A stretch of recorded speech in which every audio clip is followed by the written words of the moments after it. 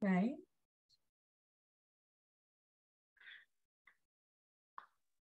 Bene.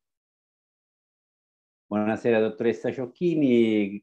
Ciao Valentina e grazie per uh, questa intervista, insomma, che preludio al tuo prossimo seminario al Centro Milanese di Terapia della Famiglia.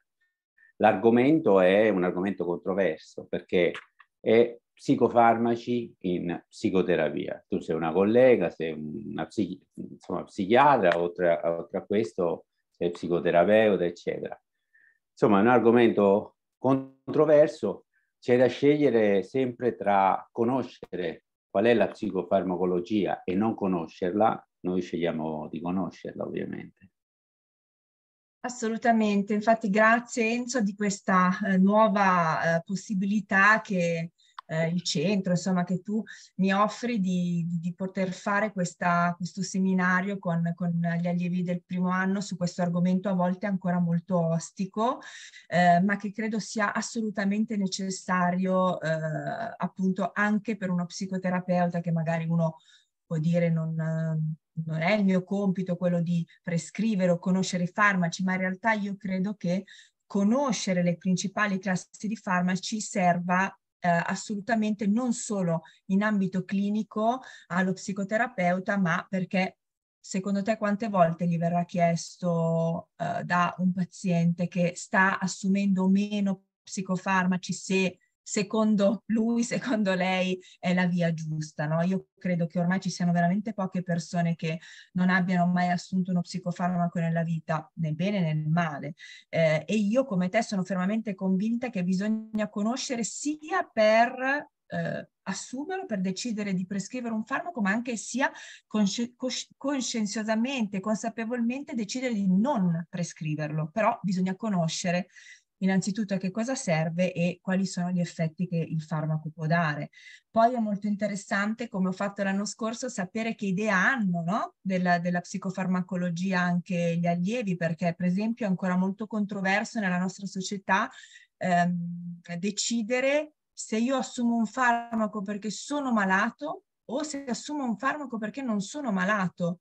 Quindi ancora lo stigma e la grande distinzione tra le malattie mentali da tutto il resto invece delle malattie organiche che sono più legittimate. No? Il paziente è più legittimato a assumere un farmaco perché è iperteso piuttosto che assumere un farmaco perché è depresso e poi entreremo anche nel vivo di alcuni, di alcuni casi che io ho seguito per insomma stimolare un po' di curiosità in questo, in questo senso agli allievi. Insomma, introduciamo da un paio d'anni un argomento anche un po' nuovo forse per il training informativo degli allievi che eh, sì, tra l'altro indicato da, da tutti i, pro, i, programmi ministeriali. Il tema è anche insomma la conoscenza della farmacocinetica, la conoscenza dei principi attivi, di come funzionano, eccetera, chiarisce anche che cosa ci si può attendere da un farmaco, cosa esatto. non ci si può attendere da un farmaco, qual è la relazione appunto anche con, con, con, con un medico, con i colleghi che, che li prescrivono, perché insomma al centro c'è sempre, come dire, il paziente, la sua famiglia, le sue storie, sì, sì, io non ho la pretesa di ovviamente formare dei piccoli farmacologi, questo eh, assolutamente non ne sarei nemmeno in grado probabilmente, però almeno di dare quell'idea di quelle grosse, grandi classi di farmaci, infatti parleremo di principio attivo, non, non parlerò eh, di brand durante il seminario di sabato, ma eh, assolutamente il, il, farmaco credo che entri in modo preponderante eh, delle famiglie dei pazienti che poi li assumono con tutto il giudizio che si porta un po' dietro, no? Tu poi parti dai casi, ecco, cioè dal, Assolutamente. naturalmente sempre porterò, dalla clinica. Porteremo un caso ehm, abbastanza eh, complicato su, ho voluto scegliere un argomento relativamente nuovo perché sono fa stati fatti dei nuovi studi sugli stabilizzatori dell'umore che eh, nascevano fondamentalmente per le gravi forme epilettiche tanti anni fa, invece poi lo studio ha portato a vedere che hanno anche degli altri effetti agendo sempre sugli stessi canali neuronali, eh, effetti appunto di, di, di equilibrio, insomma di, di, portare a un ottimismo la persona che lo assume, quindi farò un caso probabilmente, non lo spoilerare subito agli allievi su questo. E quindi poi la, la, prima parte di solito della giornata è quella anche forse un po' più pesante da seguire perché comunque eh, susseguirsi di informazioni, eh, magari con qualche richiamo appunto alla neurofisiologia, alla neuroanatomia, e, e, poi parleremo, cosa molto importante, della risposta individuale al farmaco, perché è vero che è molto importante conoscere che cosa noi ci aspettiamo da quel farmaco, quindi quali sono le indicazioni per cui viene prescritto meno, ma anche la risposta individuale del farmaco, perché ci sono studi, soprattutto sugli psicofarmaci, che una stessa molecola somministrata agli stessi dosaggi dà su due persone differenti due effetti differenti, no? Un po' come lo studio dell'effetto placebo poi del resto. Ecco, ma tu nella pratica clinica come fai a conciliare l'essere psicoterapeuta ed essere. Allora, io ho voluto fortemente fare la, lo psicoterapeuta come strumento. Io mi ricordo che dissi a Gabri, che è stata la mia insegnante al primo anno, ehm, che volevo conoscere, volevo avere altri strumenti per comprendere il disagio, soprattutto delle famiglie, perché io lavoro eh, prevalentemente, diciamo, tra le tante cose che faccio in questa residenza per disabili, sia psichici eh, che non, ma soprattutto con un'impronta psichica forte, ehm, il disagio lo porta tutta la famiglia, non lo porta soltanto, eh, soltanto la persona che diciamo è il, eh, il paziente designato, no? noi chiameremo. E, e quindi mi, sentivo che mi mancavano degli strumenti in quel senso. Dopodiché ho cioè, mi occupo anche di eh, psicoterapia, tra virgolette, come dico sempre io, normale, no? con persone che ci portano problemi comuni della, della, quotidianità senza essere affetti da nessun tipo di disturbo. E, no, devo dire che questo mi arricchisce, più che come riesco a conciliarlo, questo mi arricchisce molto come, come medico. Mm. Tu poi lavori in un territorio estremamente complesso che è quello della, anche della terza età, del, sì, delle persone io... che come dire, superano com- come me prossimamente, ecco, gli ANTA, ecco, entrano negli ANTA, eccetera.